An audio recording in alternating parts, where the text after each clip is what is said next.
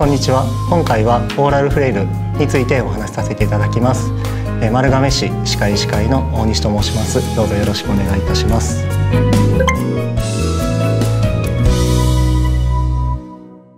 えー、オーラルフレイルという言葉皆さんご存知でしょうか？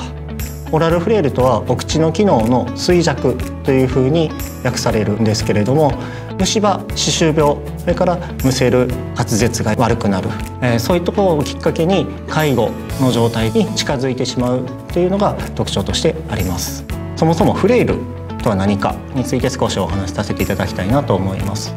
定義としては社会から遠ざかってしまうというような社会的なフレイル。うつや認知症などを含めた心理的フレイル。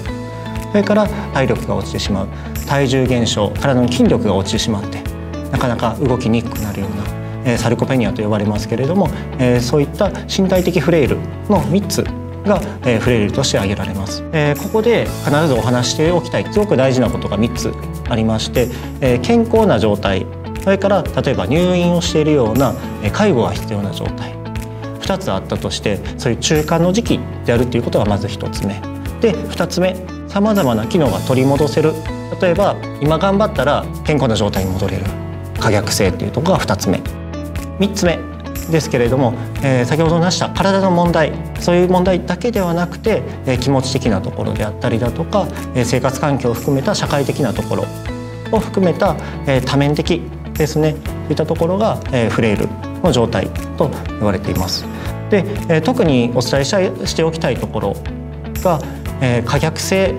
ですね行って戻れる時期であればいいんですけども行き切ってしまうとなかなか戻ってこれませんので過学性というところを覚えておいていただいて最後に歯科医師おすすめのお口の体操もお伝えしますので是非一緒に、えー、やってみましょう。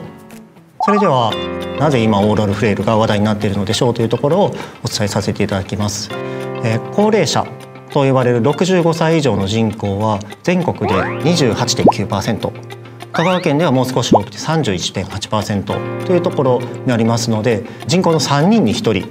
は高齢者ということになります。今の高齢者非常に元気な方が多いなと感じています。とはいえ3ヶ月前に見た時とちょっと様子が違うなとか今までおばあちゃんこんな風やったのに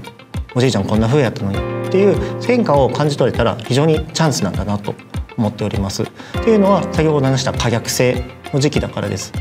オーラルフレイルフレイルの入り口と言われてます。オーラルフレイルの状態を放置していくということは、えフレイルの状態にどんどんどんどん自ら近づけてしまうっていうことになりますのでそれを周りの方が気づいていただけるっていうのは、えすごく大事なことだなと思っております。それではオーラルフレイルから始まる悪い連鎖についてお話しさせていただきます、えー、オーラルフレイルから始まる悪い連鎖なんですけれども、え食べ物飲み物えー、その入り口っていうのはやっぱり口になりますよね。でお口の機能が弱ってしまうと食べたいものしか食べないというふうにどんどんなってしまいます。特に噛む力が必要ないような柔らかいもの。でそうなると栄養がどんどん偏っていき栄養が偏っていくと筋力が衰えますよね、えー、外食もちょっと控えがちになってしまったりとかする。ますます一人で食べるっていうような孤独な食事孤食ですね。それから、えー、食べるものが少ない。でもご飯しか食べないとか、えー、その1個のものに偏ってしまううどんしか食べないとか1個のものに偏ってしまう孤食であったりだとか、えー、そういうところにつながってしまうことによってますます栄養が偏ってしまうフレイルが進んでしまうというような状況が、えー、言われています。オーラルフレイルの状態になると次のような症状が出てきます。例えばむせる食べこぼす食欲がない少ししか食べられない柔らかいものばっかり食べる。滑舌が悪い。舌が回らない。口が乾く。匂いが気になる。自分の歯が少ない。噛みにくい。といった症状が出ます。是非一緒にセルフチェックをしてみましょう。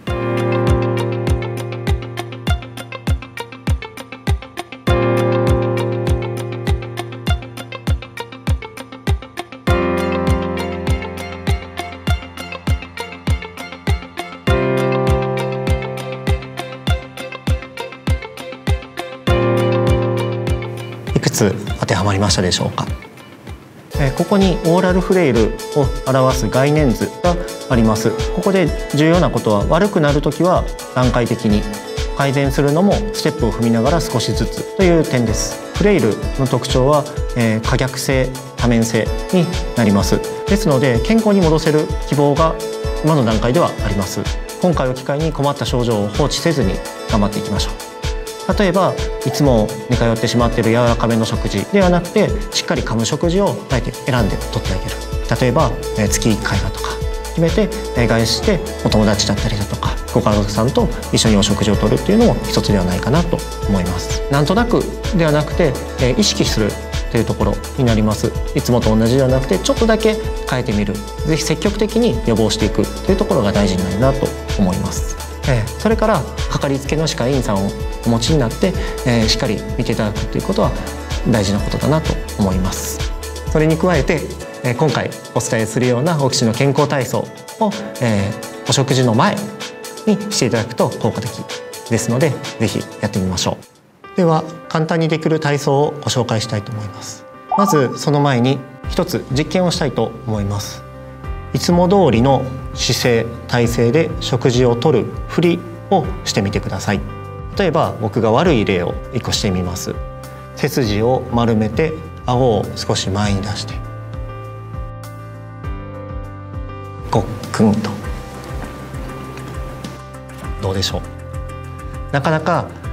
飲み込みにくいではないかなと思います。逆に、え姿勢を正してで、え軽く顎を引く。ですね。軽く顎を引いてごっくん、え先ほどと全然飲み込みやすさが違うかなと思います。で、えー、ここからも分かるように姿勢というのは非常に大事になります。気をつけるところは3つあります。一つは、え口元まで運んであげるっていうところ。でそのためには机をできたら自分の肘と同じぐらいの高さ少し高めにしてあげると楽かもしれません。姿勢を正すためになるべく足をしっかりつける。この3つは意識してやってみましょう。では、え簡単にできる体操を3つご紹介させていただきます。まずその前に姿勢を正して深呼吸してみましょう。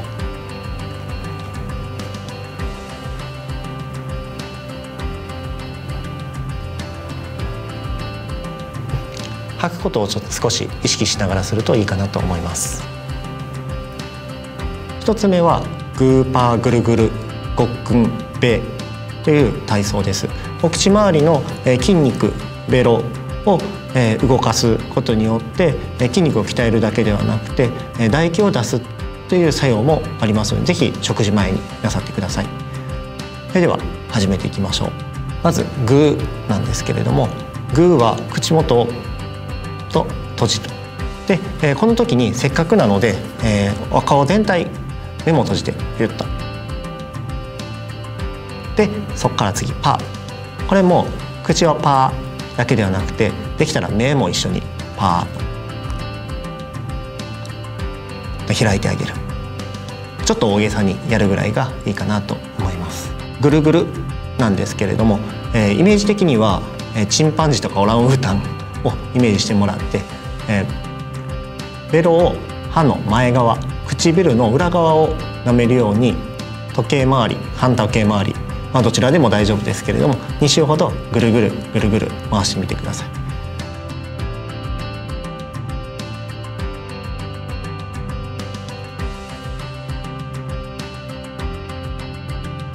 こうすると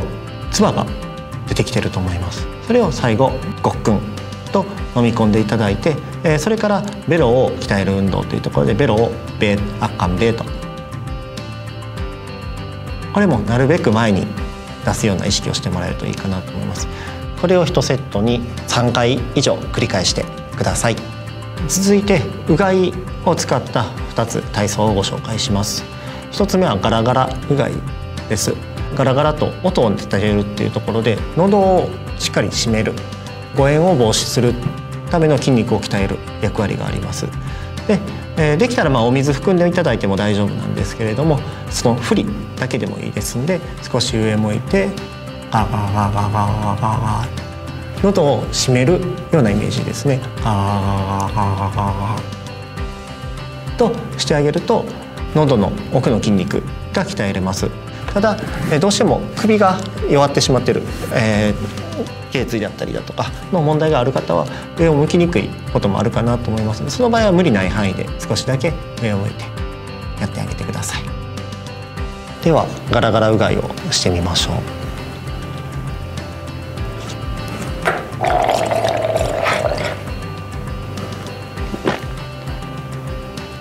はいもう一度いきます。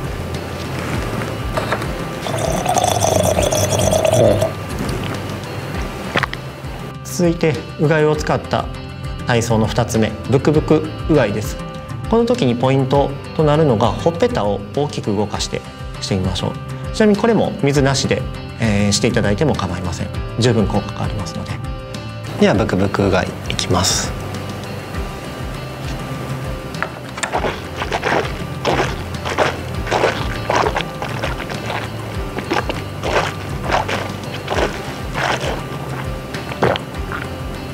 唇をしっかり閉じるそういう筋肉を鍛える体操になりますのでお食事中、えー、自然と今までは唇を閉じて、えー、奥歯を噛んでベロを動かしてごっくんとしたその自然な動きっていうのはだんだん衰えてしまいます。なのでお食事をとる時に唇を閉じる奥歯を噛むそれからベロをしっかり動かす具体的に言うと、えー、上顎に押し付けたりだとか奥に押し付けるような送り出すような動きをしてあげると、えー、それだけでも飲み声が改善する方というのはたくさんいらっしゃいます。また、えー、普段は無意識でしている呼吸ですけれどもこちらも意識的にえ予防するという意味で鍛えてあげることがいいんじゃないかなと思います、えー、いくつか楽しんでできる方法がありますので、えー、ご紹介したいなと思います。例えば風船を膨らます。これは肺の機能を鍛えるももちろんそうですけれどもほっぺたの力やったりする。口をすぼませるっていうそういう機能も鍛えることができます。それから吹き戻しですね。これも実は肺の機能口の機能を鍛えるのに非常にいい道具です。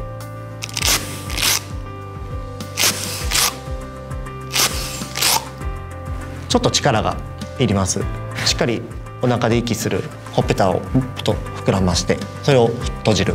そういったところを意識していただくと、えー、普段の呼吸も鍛えていくことができます。それから、えー、お孫さんだとかで、えー、誕生日会をしました、えー、今のお子さんっていうのはろうそくの火をふっと消すのが苦手な子が増えてきてると言われてます。これは肺の機能が弱ってるだけではなくてそもそもストローで毎日毎日飲みやすいように飲んでしまう。っていうところで口をすぼませる息を思い切ってふっと出すそういった機能が衰えてるというふうに言われてます。のでもしお孫さんで、えー、例えば5歳でろうそくの火を消すのに1回2回3回かかる。多分、えー、将来的にオーラルフレイルになってしまう可能性も、えー、高いかなと思いますのでそういった場合は、えー、吹き戻し2つ3つ買っていただいて一緒にこれやってみるといいらしいよ。と来年の誕生日会は一気に消せるようにしようねと。これ実はもうやってもらったら1週間ぐらいで改善するんで、うん。えー、ぜひ、えー、時間ある時何かしながらでも構いませんので使っていただけるといいかなと思います。今回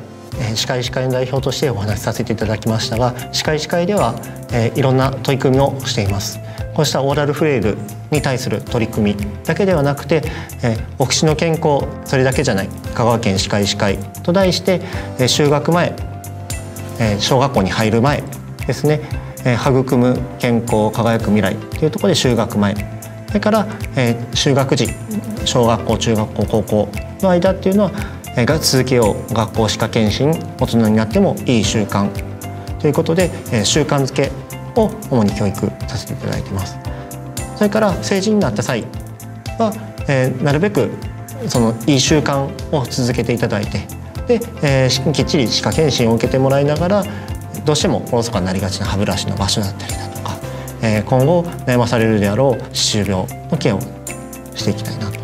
考えておりますし、えー、今回お話しさせていただいたオーラルフレイルを含めた高齢期ですねには、えー、お口から健康長寿を目指そうということで歯科医師会ではさまざまな活動をしておりますので一緒に取り組んでいきましょう。